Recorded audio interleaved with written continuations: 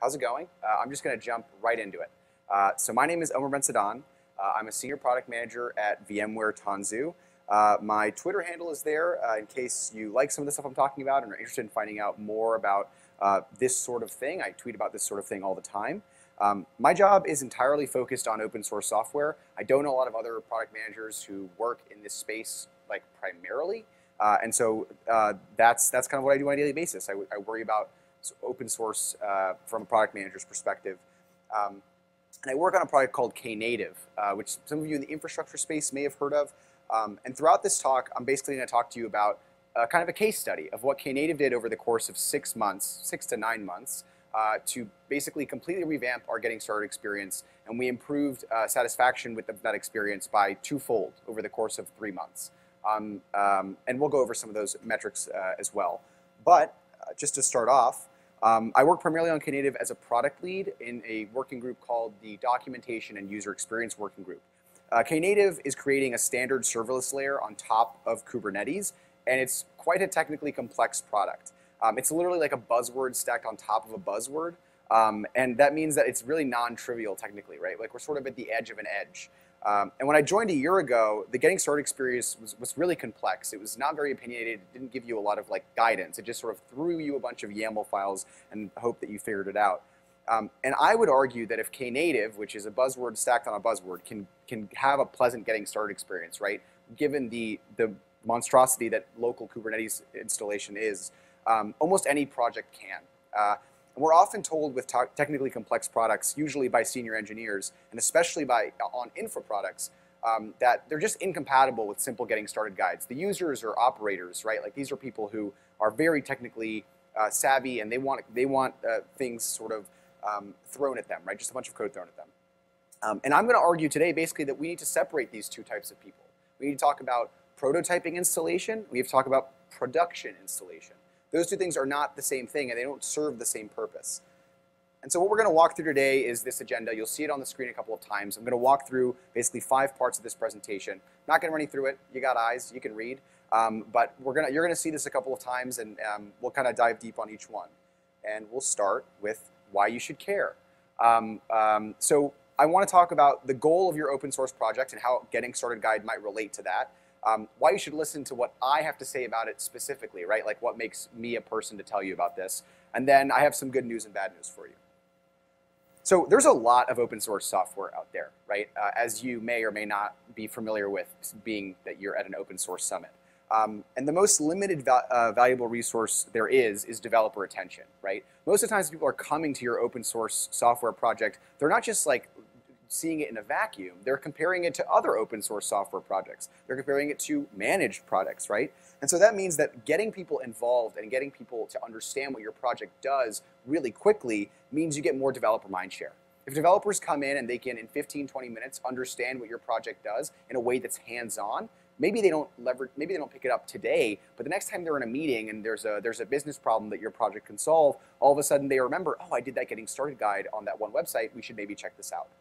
Um, so when is it important to have a good up and running experience? Uh, I'm not someone who's like a getting started maximalist. I don't think every project needs to have this sort of thing, but there are a couple of kinds of projects that definitely benefit from it.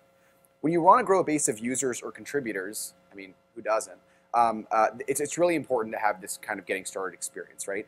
Especially with open core business models, like the idea of like you have like sort of um, open source software and then like you build stuff on top of that open source software, which um, the guy here in the red fedora definitely knows about. Um, and it's extremely common in infrastructure. It's very common.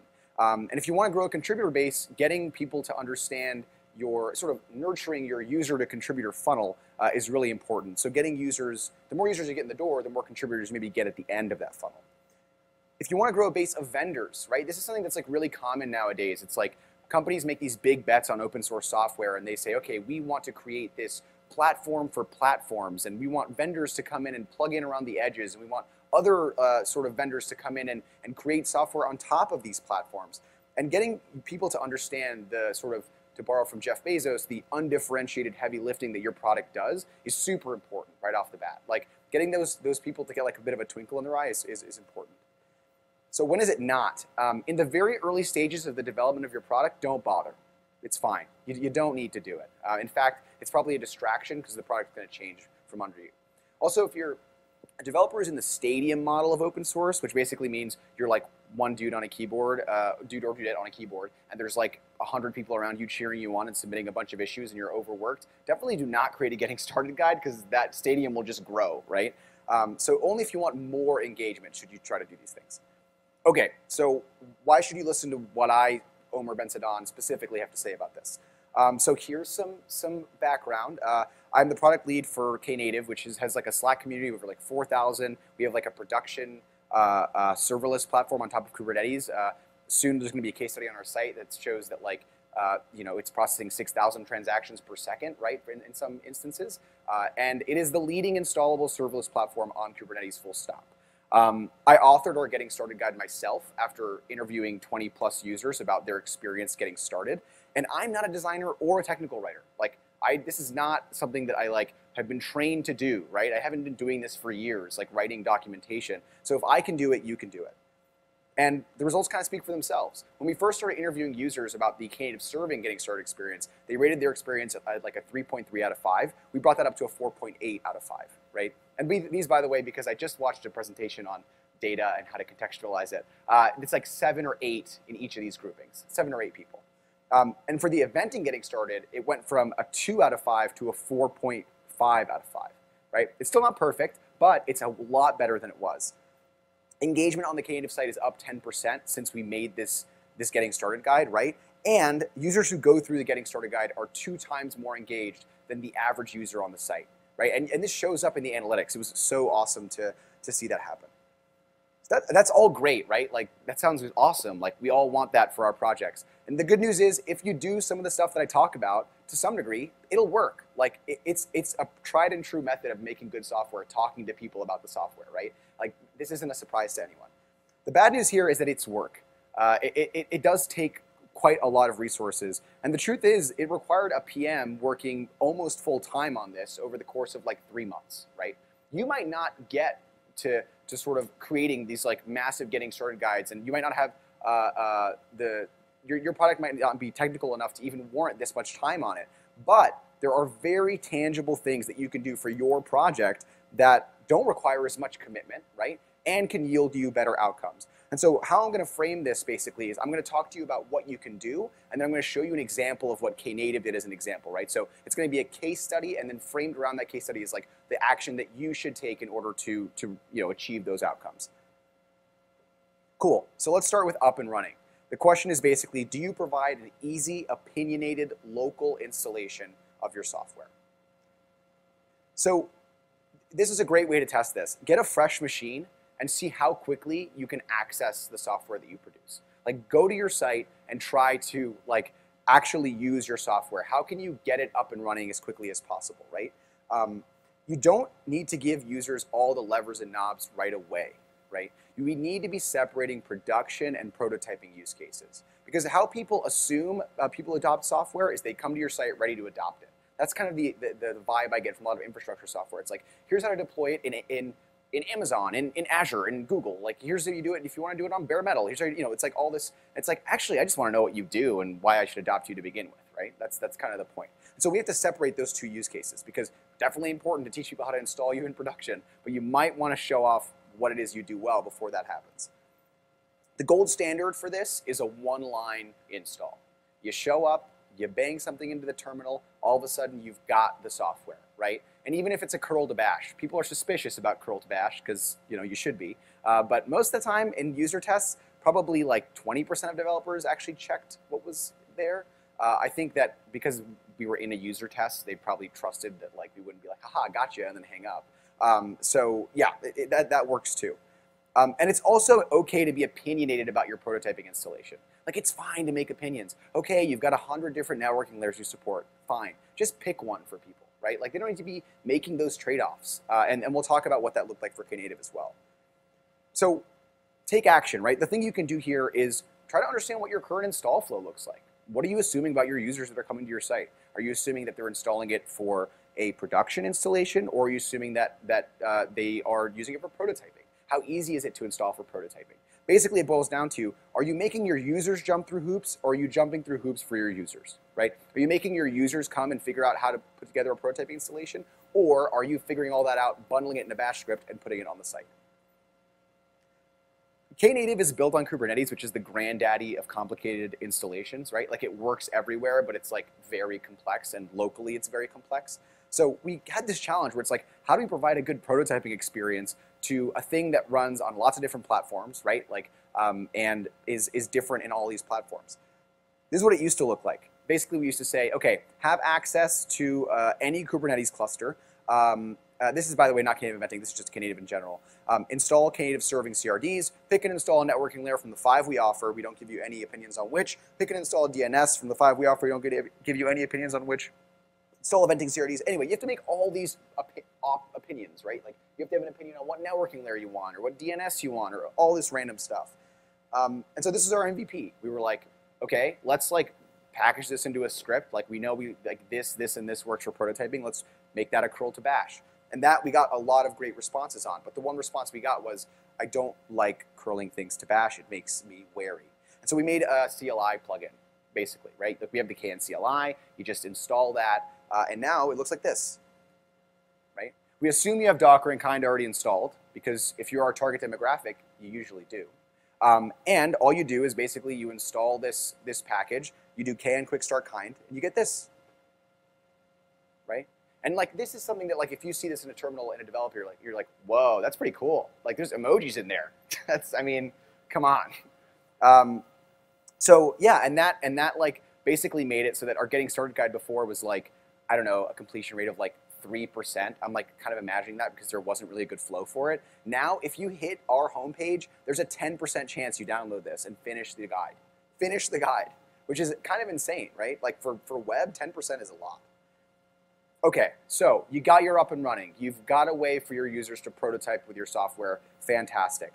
How are you going to bring your killer features to the forefront? And in Knative, we call this superpowers.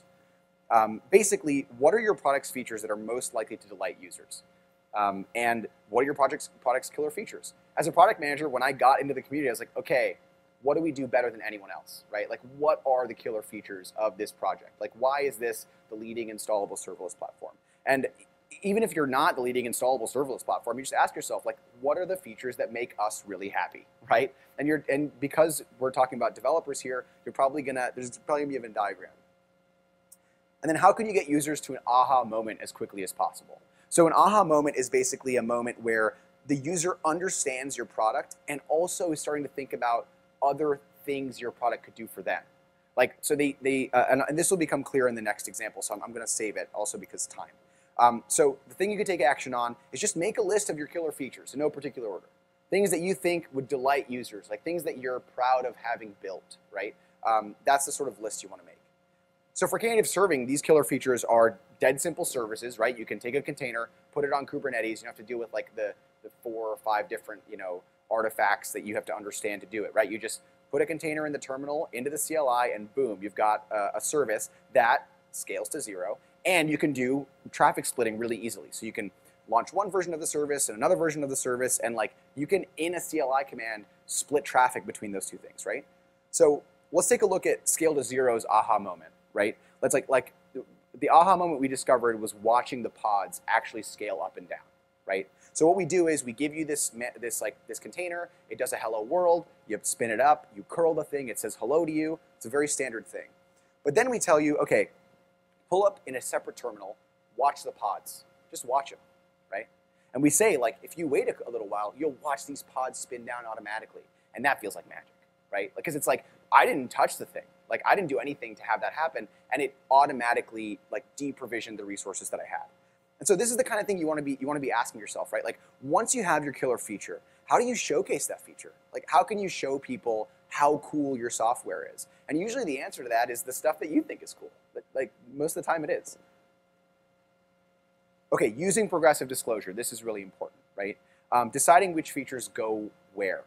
You know, you've got your list of killer features. Uh, you maybe even have like thought about some aha moments, right? Now, how do I organize this into a comprehensive guide? Like, I, I know these things are cool, but but what do, what do I do to get people to understand how cool they are? So it's a bit more of an art than a science, but it's a bit of a science too. Um, basically, progressive disclosure is the concept that you should be walking through concepts or functionalities that are increasing in complexity, right? And this is very, very similar to the, like the sales technique of like foot in the door. If you agree to a small request, it increases the likelihood of you agreeing to a second larger request, right? A salesman uses all the time. Door-to-door salesman comes to your door, knock, knock, it's hot out. Do you have some lemonade? Would you like to buy a vacuum, right? Um, it's, a, it's, it's very, you know, it happens really quickly like that. And then think of your getting started guide in the context of a user journey and be opinionated about that journey, right? Where do you want users to go? What do you want them to discover? And in what order do you want them to discover it? Don't throw your, your entire organization at them as, as, a, as a, you know, a basically documentation site. Like, have an opinion on what you want people to be learning. And you can take action on this. So once you get your killer features, lay them out in order you feel would be good right? Like, oh, this I think makes sense to me, and I think I'm progressively disclosing like an amount in complexity. And for Knative, it looks like this. We, we said, okay, we know that deploying a service is like a, the simplest thing we can do for people. You just deploy a service, right? Um, okay, watch it scale up and down. Now, now people understand auto scaling, right? Make a changes to your service. So now we understand that we can make a change to our service and that that change is stored in the system as a revision, right? And the next thing we teach you is split traffic between different revisions. I've basically been able to show you that this thing auto scales, stores your changes, and you can split traffic between them over the course of a couple of steps. But if I had done it in a different order, that wouldn't, that wouldn't have been as clear, right? Okay, so you guys are seeing this and you're like, whoa, this is like really great. Good, Omer, you're doing a great job. Um, uh, like this looks seems like it'd be a really smooth experience for people. But I still don't really understand how you get to that. Like it feels like there's like, you know, I don't have a product manager in three months. Uh, luckily, there, there is a, a, life hack for this. It's just talk to people. That's it.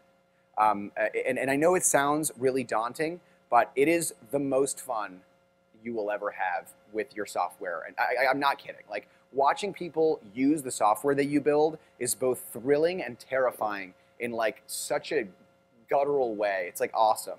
Um, uh, so I'm going to talk to you a little bit about like how you're how you're going to do that. Um, I want to like full stop user feedback is king. Full stop. Like getting getting users feedback on your software is one of the only things that makes your software more valuable. It's just true. Sometimes there's like a guy in the back of a lab who builds like something incredible and it changes a market or whatever, but I, I would assume you're not that guy. Just just because like there are very few of them, uh, and and uh, I can't even think of one even standing here now. Um, but you can get by without it. If you do some of the stuff that I've talked about up until this point, you're probably going to be better off than if you didn't. Uh, but I really insist that you, you try to talk to users. So making your first prototype. You don't have to build the website, you know? Once you have all this stuff together, you don't have to go out and build your documentation site around this, right? Like spend hours trying to pick a framework or, or whatever, right? Just make it anything. Make it a Word doc, make it a GitHub README, make it a PowerPoint. It really doesn't matter. Um, your prototype could test either your installation that you just tried to make if, if you had a complicated install before, or it could test your showcasing of your killer features, aka your getting started guide. Um, your prototype should be complete enough for someone to follow without your instruction, and this is really important. Because when you give users something to follow, right, like, like you are not going to be on a video chat with the people who visit your site. So you want to be able to see how people are actually going to use the, the stuff that you build. And then your prototype is just a prototype. Like, don't try to nail it on the first try. Feel free to leave errors and typos in there. Um, uh, like, it's, it's going to be fine, right? Like, just let people know it's a prototype and, and you're testing stuff out. Like, try to make this as easy on yourself as possible. There is one thing I will insist you do, though. If you're going to talk to users, you need a user interview script, right? You cannot have a casual conversation with six different people that go that goes a hundred different ways and come out of that with anything but confusion right? You've got to be able to say X amount of users agree with this statement. And the only way you're going to get there is if you can create a user interview script. And I'll, I'll actually provide a template for that at the end. So split your script into distinct sections with distinct goals, right? Great ones to start with are the background, get an understanding of who the user is, value proposition, get an understanding of why they find your software or your category of software useful, right? Just broadly, and then actually test the software. Right? Uh, and some of the stuff in that value section, like, will surprise you. You're like, I thought people used my software for X. Turns out they use it for Y, right? And I think that's like really interesting. Uh, it's really interesting to, to hear what people say about that. You always want to include a background section because it might be able to, you can, you can ask questions that may help you make assumptions about your end user. For example, for our quick start, we chose kind. You- You have to have kind installed to do this quick start. And that works for the 80% of users who come to our site that are like Mac users, right? And most people we talk to. But whenever we happened across a Linux user, it wouldn't work for them. And we found out that actually Minikube works better. But we only knew that because we were asking background questions and we saw like, oh, we've failed with every single Linux user. Maybe kind isn't the best option for them, right? Because it turns out Docker on Linux is kind of screwy. Um, uh, so yeah, it's really important to ask those kinds of background questions. This is really cool too. If you if you have a community to share stuff with, as often as possible, try and make your qualitative questions quantitative. Like the really important ones. Like remember earlier in the slide where I was like we took it from like a 2.4 to a 4.1 or whatever the numbers were. Like the only reason I was able to do that is because those were the metrics I was chasing, and I'm able to say, hey, look, like we actually made this tangibly better. Um, using a number scale like allows you to basically um, make before and after comparisons. Like, did I do better than than what was there before? And then also allows you to compare between users. So there are some users who are extremely expressive, and it's so funny to do this sometimes because you ask the same question to like three people, and they respond completely differently. But then their out of five rating is the same. It's like it- it's it's really it's really it really is funny that way. Like people have uh, huge variances in like what they think is actually a big deal and what they're going to tell you they think is a big deal. So this is a basic um, outline. I'm going to give you at the end like like a link to a Google Drive with all this stuff in it, so you can like use it. You can sort of treat it as like your your uh, getting started with getting started uh, guide. Um, so you can see here like in the background, just tell us about what you about yourself and what you do. Have you used our our, our software for how long? Value prop. What were your motivations for checking out our project? Uh, what problems were you trying to solve with the project? What other tools or software were you looking at to solve those problems? Right. So you can like learn from other competitors in the space. And then uh, did that did our project solve the problems you were hoping it would solve? Right. Because that could show you like, are we marketing this incorrectly? Like, are, like is the homepage saying something that is making people expect something different? And then the user testing, it'll depend what you what you make, right? But uh, the, the one I would focus on is how would you rate the current getting started experience from one to five, and then how would you rate like what you just saw, right? Like like you basically ask them to rate what they what they the getting started experience they had experienced, right? So like how how like how would you rate one to five uh, uh, getting started with our project? You walk through the user test and then you ask them the same question about the user test they just did. Um, yeah, and uh, again, all this will be in a Google Drive folder at the end. Okay, this is this is actually like non-trivial soliciting users. So the great thing about the getting started user testing is that like almost anyone is your end user because you don't have to know anything. Uh, so it's it's really nice. You just have to like go to uh, like you just have to focus on a target demographic. Post messages in Slack communities where your target demo hangs out, like CNCF Slack for example is a great one. I mean, I was like overwhelmed with people who were like like me, me, me. I don't know what it was. I think it was like a time of posting or something. There was like 20 people who were like, I want, I want to like try this really badly. Um, uh, that might not happen to you, but you should be specific about the kind of users you're looking for and DM people. Like if you see someone in these communities that like looks like they fit your description, just ask. People are more than happy. Like people love getting like like people in CNCF Slack that are new to that Slack love getting like DMs. It's like, oh, cool, like I'm part of the community. You know what I mean? Like, and you are, you, you sort of are. Uh, and it's by far the most effective way of sourcing people. By far, DMing people is like an like 60 to 70 percent success rate because they feel special. They feel like you really want to hear from them. And then use verbiage like donating your time. Say it's the easiest way to contribute because it really is the easiest way to contribute. And if possible, bribe them. So if you have T-shirts, it's perfect. Plus, then your logo gets out there. Um, so yeah, T-shirts are key. Okay, so now that you've got you've got users to interview, you have all this stuff, you're ready to go. Um, what you need to do is make sure that you have some way to record the, the information that is thrown at you. Like, don't go into into these uh, things, and uh, I'm going to go just a little bit over. Um, uh, don't go into these things and think that you're just going to remember all this stuff because because you probably aren't. So it can be a GitHub issue, like submit a new issue every time you hear something that someone says, and then comment on that issue when you hear it again. Um, we did. Uh, it's just the important thing is like make sure you can say we heard this, and then we heard that again, and like an easy way to to, to basically like uh, move uh, like you get what I'm saying. Uh, user interviews slash tests are, stru- are structured conversation, so treat them like one. If someone says something that's not on your script but is really interesting, take a sidebar, talk to them about it, but then go back to the script. Um, it's okay to venture off script, but treat it like guardrails. And then don't bias your participants. I actually fail at this all the time. Uh, make sure to ask open-ended questions, not leading ones. Like just like ask how do you feel about this, right? Not do you feel bad about this. This is what we did. So like up there, you'll see some names of people, and there's like sticky notes like as the background information, and then all those clusters are are like different uh, like like sort of groupings. So sorry for the people online if not able to see me, but like if you see like there's um, if you see multiple colors in one section, it means people are saying the same things about about that section, and they're different people. Uh, second to last thing, listen to all, plucking a feather from every passing goose, follow no one absolutely. It's a Chinese proverb. It's pretty good. Like you, you have to interview like five to six people to really get some good data, but two to three can work too. And then present your findings to your community. Uh, we did this in the form of a PowerPoint, and that'll be in the Google Drive as well. And you can check out that PowerPoint and how we like rally people to like make this change. Um, and that's it. So this is actually the link to the resources. It's a, it's a link tree. Um, yeah, one second. Uh, it's a link tree. There's a, there's a, a, a link down there. There's also the, uh, the, QR code. If you have any questions or, or, if we can't get to it, I think I think we're about to get pushed out. Um, but if we can't get to it, just find me on Twitter. You can ask me there or like after the talk. Thank you to all these people. They're awesome. Uh, they I literally couldn't have done this without them. And then here's my information.